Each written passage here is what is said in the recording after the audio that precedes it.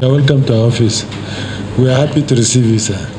Our work is to take the energy from the point of generation to the point of transmission, meaning uh, we take the bulk supply from where it is generated to the place where the distribution companies will distribute.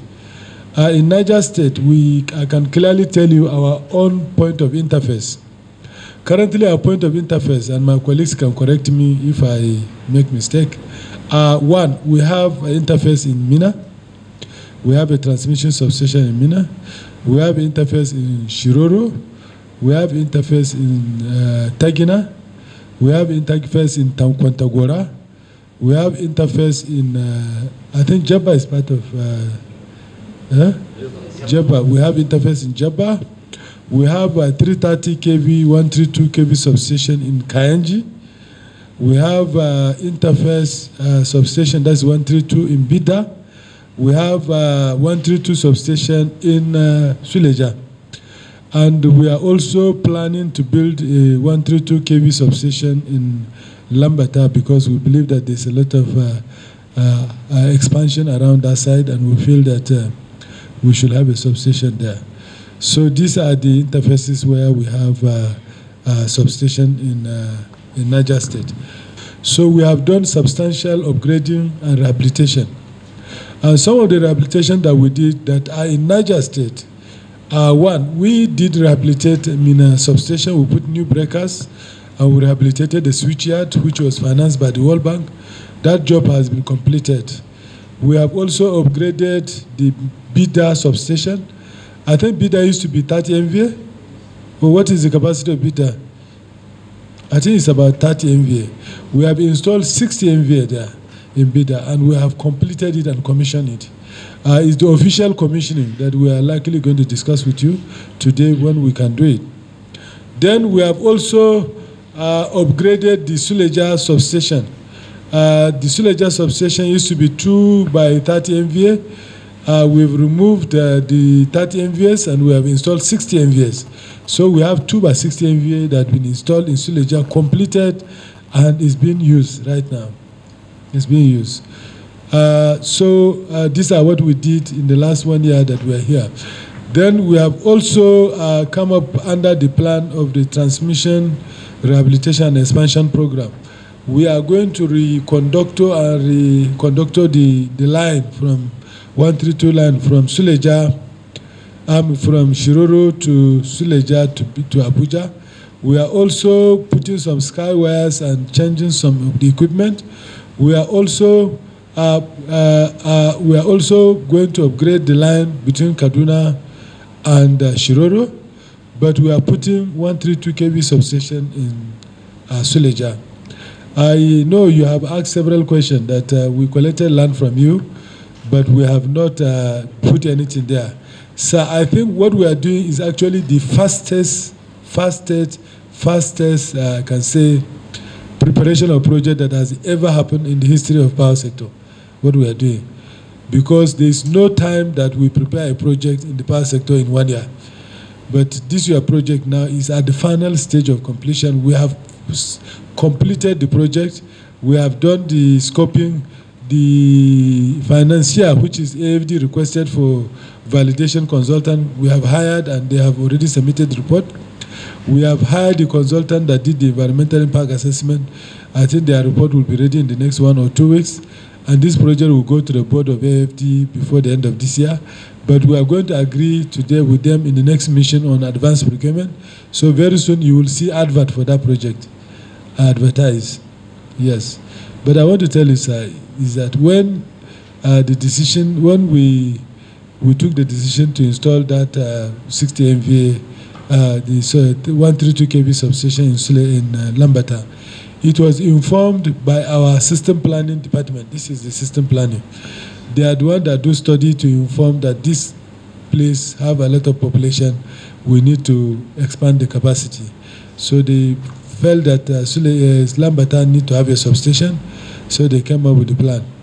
So I want to use this medium medium to ask our colleague to thank the deputy governor for all the support he has given us because he is the one that is instrumental to us getting the land that we are putting the uh, 330, uh, 132 kV substation in uh, Lambata. So thank you, sir. So now I will hand over to you and listen to your, I've seen your letter, but uh, I will now comment, I will listen to you, sir. So you're welcome, sir. Thank you very much. Our major challenges that people up to this moment don't know the difference between the state government the, and federal government in terms of some of this infrastructure. Number two, NEPA, NEPA, NEPA, they don't know what is ADC, they don't know what is TCN, they don't know. All what they know is the state government. Government is not giving them power.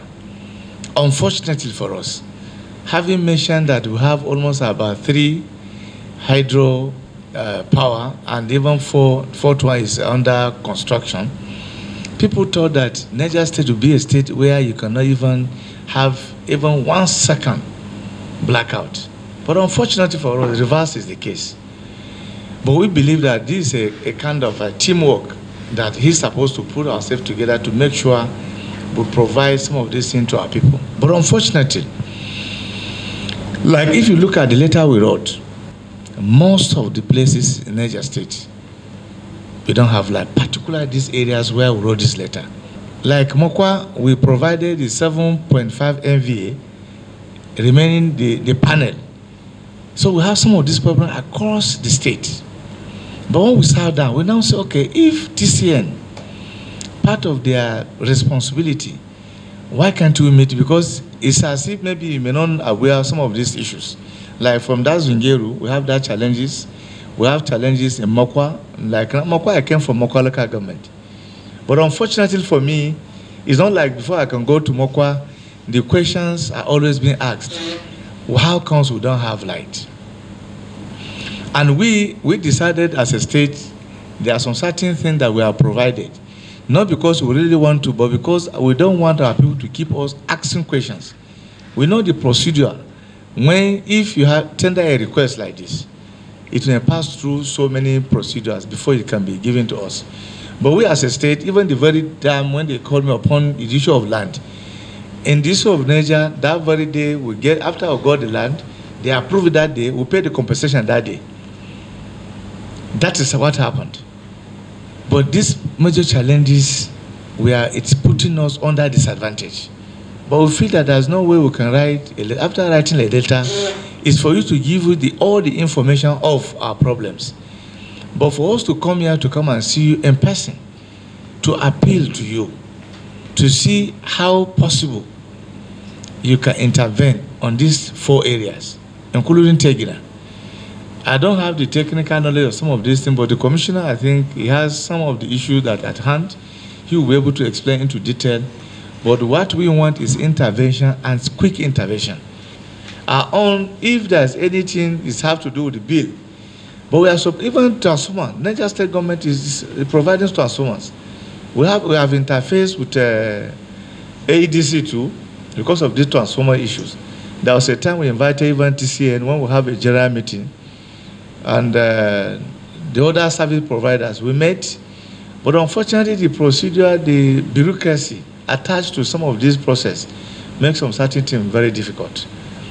But we now say, because of our own people, we, have, we are passionate for our people. We must have to maybe wake up to see how we can have that uh, existing collaboration to make sure we give our people what they truly deserve as part of our dividend of democracy.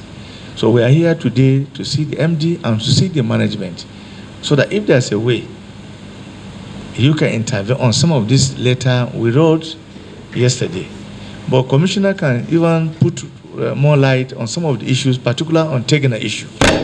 Like the issue of Tegina, uh, we want to have it now that we are here on good authority because Tegina and its environs, that is comprising Kagara, Mariga, and some other uh, towns around, usually enjoys minimum of 18 hours power supply and sometimes 24 hours. But in recent times, it has dropped to as low as four hours sometimes. And uh, the only reason given by AEDC is that uh, the installations in Tegina that cannot take more than that four to six hours, that uh, the capacity has been exhausted, that there need to be an upgrade for them to be able to accommodate more power that can be distributed among the communities. I don't know whether it is right or it is wrong, but now that we are here, I think we'll clear the, the air. But as it is now, honestly, the people around that area are really, really suffering because the load shedding is not, uh, uh, is not too, too fair. Because sometimes some villages will be out of power for like more than 24 hours also. So we really don't know what is happening. Uh, like Zungeru, uh, is this a request that uh, a substation should be established there because uh, they are suffering. For the past two years, they've not been enjoying power supply.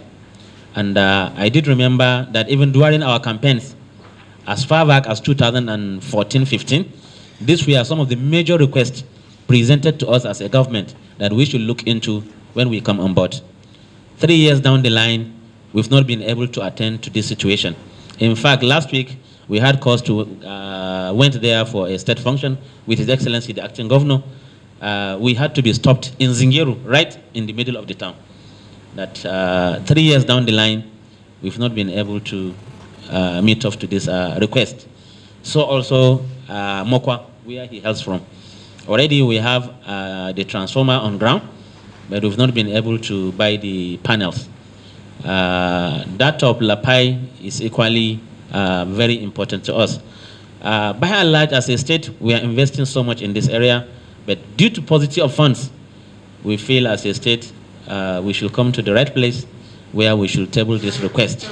And uh, we, we, we, we, we are aware, or rather unofficially, that uh, you're on process of upgrading some of your stations and uh, you have some uh, of these equipment that we are removed from some places.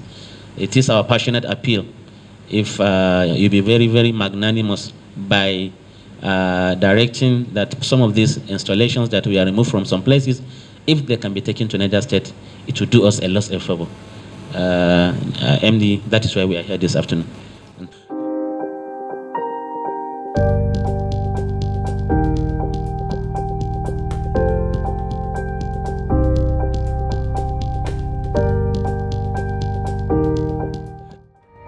Follow us on Facebook, Twitter, Instagram, and YouTube for more information on the Transmission Company of Nigeria, TCN.